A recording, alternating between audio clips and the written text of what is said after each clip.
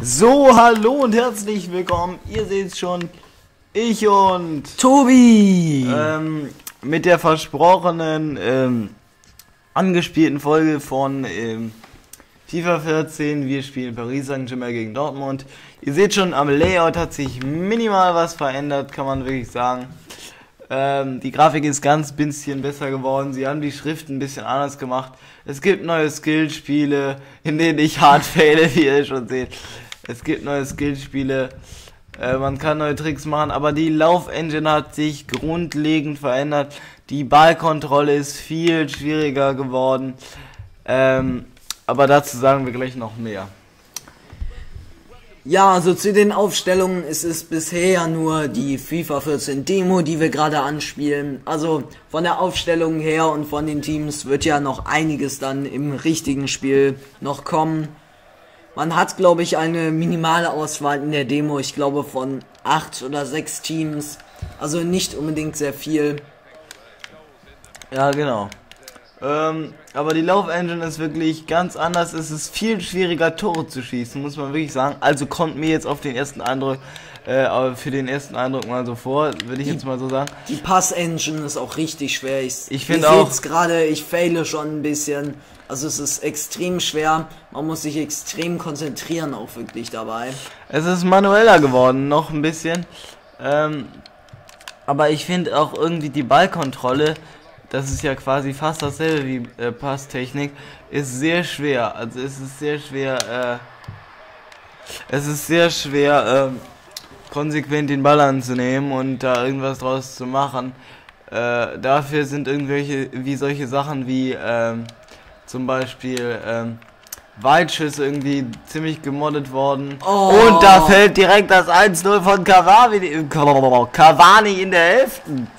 Eigentlich ganz komisch, weil ich hatte auch immer das Gefühl, Ecken wären auch immer schwerer geworden. Weil ich habe immer auch das Problem mit Ecken. Ja, vielleicht haben sie das jetzt auch nochmal runtergepatcht. Also ich finde, FIFA muss wirklich nochmal einen guten Mittelweg finden, dass es so wirkt, dass es halt realistisch ist. Aber ich finde es ist jetzt auch gut, dass es schwerer ist, dass viele Tore fallen. Ähm, äh, denn in echt ist das ja auch so. Äh, vor allen Dingen, äh, man, ich habe das Gefühl, man bewegt sich nicht mehr so schnell fort, heißt, das heißt, ähm, man kann nicht mehr so in einem Rausch über, die, über das komplett- komplette Feld rennen, so wie vielleicht in FIFA 13 mit Duelcore zum Beispiel.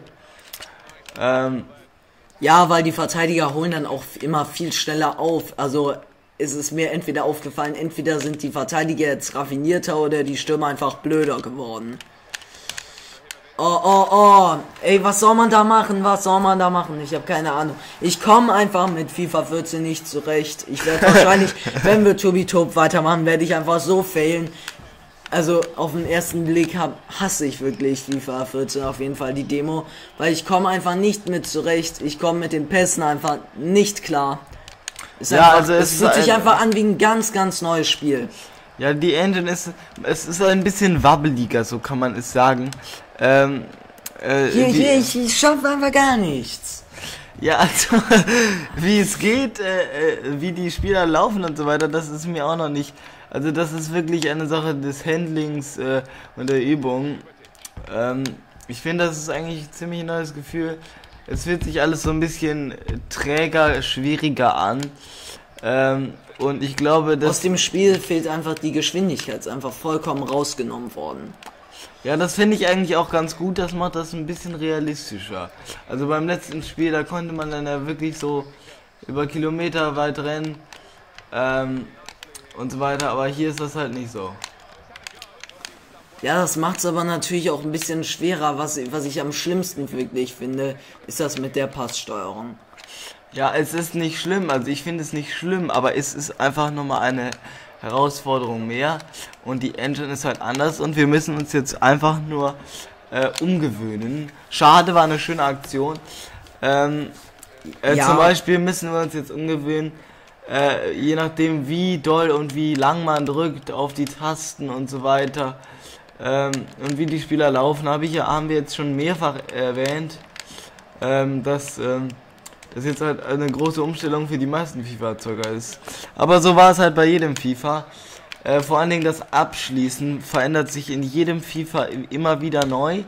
Das finde ich immer interessant. Also ähm, zum Beispiel konnte man. Oh, oh, oh, oh, komm! Köpf doch, köpf doch, oh man. Zum Beispiel konnte man in FIFA 12 ganz gechillt. Ähm, oh, schon Halbzeit. Ja, äh, bei der Demo ist es so drei Minuten Spielzeit.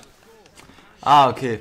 Auf jeden Fall konnte man äh, bei FIFA 12 zum Beispiel ganz gechillt äh, immer die Bälle flach mit RB in der Ecke schießen. Das kann man jetzt zum Beispiel bei FIFA 13 und FIFA 14 nicht mehr so. Dafür sind irgendwie Weitschüsse mehr gepatcht worden. Also diese Schussengine, die ist auch sehr interessant und die Ballführung. Ähm, aber das ist halt ähm, die Sachen, die auch schwer nachzumachen sind. Und das finde ich auch gut, dass sie daran nochmal gearbeitet haben.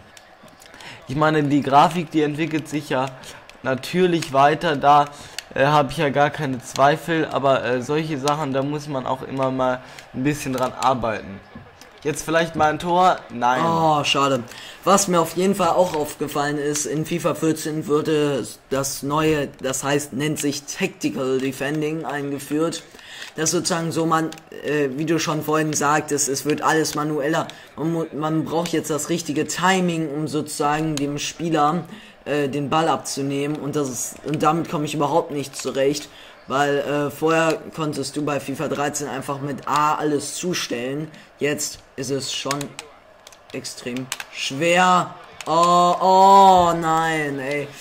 Hier sieht man das dann auch schon, dass das alles langsamer wird. Statt einfach drauf zu schießen, muss er erstmal den Ball langsam annehmen. Aber ähm, im Großen und Ganzen gefällt mir FIFA 14, muss ich jetzt eigentlich mal sagen. Weil Tobias hier die gerade die ganze Zeit so ein bisschen stänkert. Das liegt daran, dass er 2-0 hinten liegt. Äh, ja, also, äh, es muss man sagen, es ist einfach gewöhnungsbedürftig. Es ist kein schlechtes Spiel, es ist ein gutes Spiel. Aber man muss sich halt wie, wie bei der Umstellung mit jedem FIFA-Spiel erstmal einspielen, erstmal dran gewöhnen. Und ich schätze mal, es wird vielleicht noch was äh, im Vergleich zur Demo. Ich schätze mal, da verändern sie auch noch was. Ja, glaube ich auch. Aber ähm, das FIFA ist ja erst, das FIFA kommt ja erst ein paar Tagen raus. Mal schauen. Ähm, ähm, vielleicht ist das, das Video auch schon oben, beziehungsweise erst oben, wenn FIFA schon draußen ist. Mal schauen. Ähm, ja, also äh, mir gefällt's eigentlich. Ähm, ja, ich wollte gerade noch irgendwas sagen, ich habe es vergessen. Ja, wir Vielleicht sind ja auch schon fast in der 80. Durch diese drei Minuten verfliegt die Zeit enorm. Ja, wir müssen jetzt langsam rein.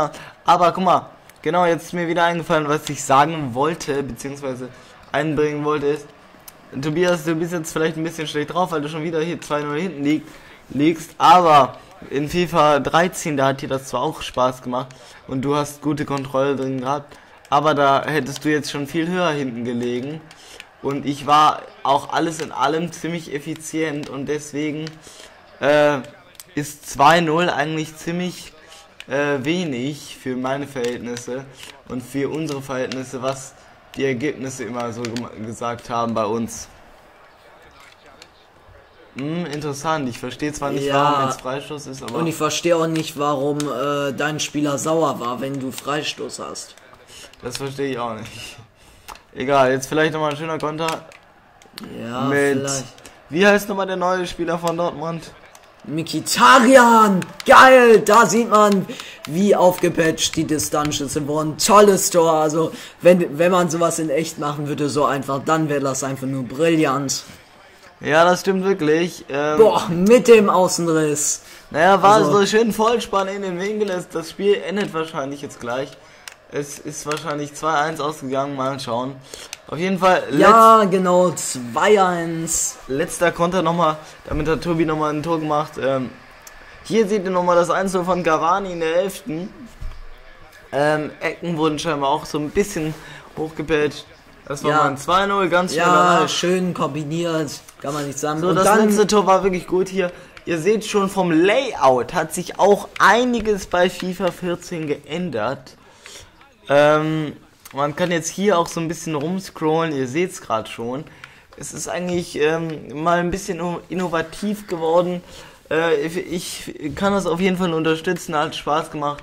Und ich hoffe, ähm, ihr freut euch auf die Serie mit mir und Tobi. Tobi Tob bei FIFA 14. Haut rein, ciao.